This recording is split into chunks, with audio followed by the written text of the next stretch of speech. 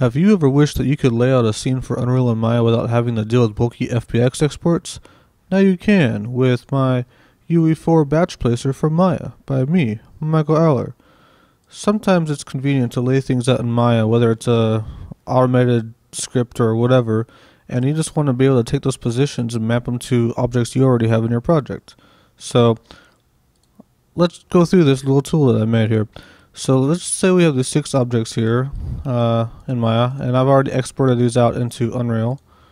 Uh, pretty simple. Uh, you got my cube, my little meshes here, whatever. And these are all ready to go. And I want to generate a structure using a Maya script and be able to take those positions and put them in Unreal without doing like an export of a big FBX and dealing with FBX settings and scenes and whatnot. So first step, uh, let's just generate a little scene. So I have a script out here that generates a random scene from these blocks here. Uh, pretty simple. Uh, I didn't make the script. I didn't make these objects. A courtesy of Cordell Felix, but really any mesh will do. And there you go. Here's just a random stack of things. Now the important thing here to note is that each of these have a, has a unique name. This is named Cube. This is named Hollow. This is named Spike. This is named More Hollow.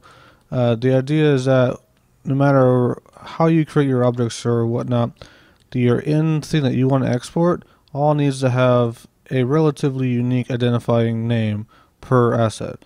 This is important because when we open up our batch tool here, we can add some slots. Now there are six meshes here, so I'm going to add six slots. And I'm just going to type in the names of these base meshes. I know every cube mesh in my scene is going to have the word cube in it. So I can go ahead and just type in cube here. And I know, same with these other I know every mesh with this instance is going to have the word hollow in it. So, um, or double or twist. So we'll just start adding all these in here. So, hollow, twist. There's one called more hollow. Um, this one's called double. And spike. Now you'll notice that there's a sort priority here. What's going to do, what this tool does is it's going to look for everything you have selected and just find the first Unreal Mesh path that is assigned to an object that has your Maya object name contained in its name. Meaning, if I find a more hollow object in here and hollow is higher on the priority, it's going to just stop at hollow and use that. So we're going to move the more hollow up to above hollow. So it's going to search for this first before searching for hollow. Uh, and then uh, everything else is fine. So that's one thing to keep note here is that it just does it from first down by this priority. And you can always add and remove export slots anytime you like. Now I want to map the Unreal meshes to these Maya objects. So for this cube here, I want to open up uh, Unreal and I'm going to right click my cube asset that I want to use. I'm going to hit copy reference and then I'll hit paste in here. And I'll go ahead and do that with the rest of these. Now this is still a little manual but uh, this is a one-time setup because the batch plugin here or script for Maya automatically saves all these details. So once we have these set we'll never have to do this again. Do, do, do, do, and we have our spike you notice that uh, some of these things are named completely different, such as more hollow is named legs in Unreal. Does not matter as long as you have a mapping between what your Maya object is and what your Unreal object is. That's fine. Now with that, we can go back to Maya here, and this will export whatever you have selected. So I'll go ahead and just grab all these objects here, and you know they all got different translations and whatnot and whatever but I'm going to hit export selected to clipboard for pasting in Unreal Engine 4. That button could probably be smaller, but uh, go ahead and click that. And it won't appear that anything has happened, but if you go to Unreal and you hit paste, you will see all your meshes appear. It might take a while depending on the number of meshes, but these are all set to the exact same uh, world position that you have in whatever in Maya, wherever that's set to. Um, so yeah, that's uh, that's pretty cool. Now you'll see in my Unreal it says 2.56 meters, but in Maya these are well these are actually 2,560 regular base units, uh, which you'll see if I click one of these here.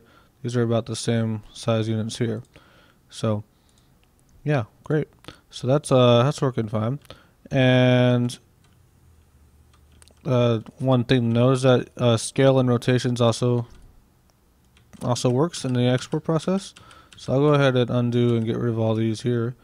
And then I'll, in Maya, I will open up, or I'll take this object over here and I will scale this thing pretty big. And I'll take uh, this here, I'll scale it down the corner.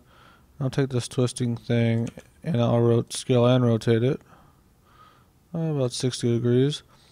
And then again, I'll select all this and I'll hit my batch tool. I'll hit export and then I will hit paste in Unreal. And again, this takes a second to load, but you'll see that my scaling, my rotating, uh, transforms all line up just as uh, just as you'd expect them to, and no issues whatsoever. So that's uh, that's pretty neat. Currently, this only works for uh, 2015, but um, we'll add. I'll start to add support for other stuff, and not included in the script, but also a fun thing to know is if you're also using my productivity plugin for Unreal 4, you can select all these meshes here that you just brought in. And right now these are 925 static meshes. That's very unoptimized. You don't you don't want that. What you can do is you can hit the statics to instance button. And because we only use six meshes here, uh, this will convert everything to just six instanced meshes. As you can hear, got six instance mesh wrappers. And these are now six objects. That's it. Uh, now there's an issue uh, on my end where if I drag select in the viewport, I don't actually select everything in there, but uh, for example, all these back-facing things are not selected. I believe that's a setting here somewhere. Uh,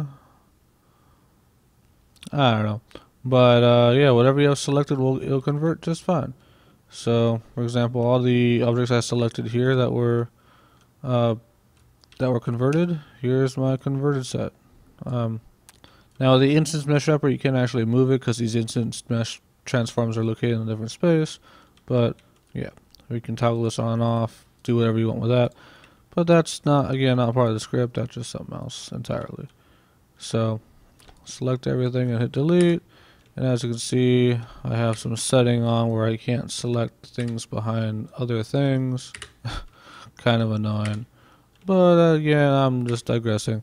That's not the point of this video. The point is the batch video. So if I go ahead and close this window and reload it, all my settings are the same. If I close Maya and reload Maya, all my settings are still the same. And, uh, come on. Do, do, do, do, do. Loaded up Maya. And if you open my batch window again, here you go. All your settings are stored, so you only have to do this setup process once. As long as you keep your asset names the same, your settings will always stay. So there's that. Cheers, y'all.